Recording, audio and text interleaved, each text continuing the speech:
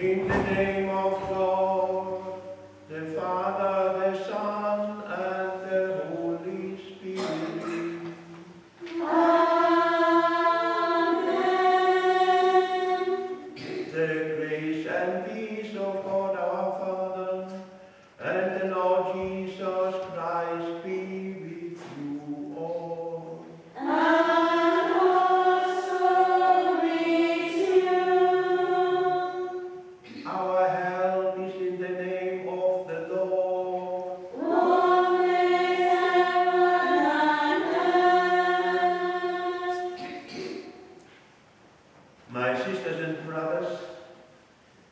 assembled here in God's name and presence to meet with him in our midst, in his holy word and sacrament, and to celebrate the birth of our Saviour.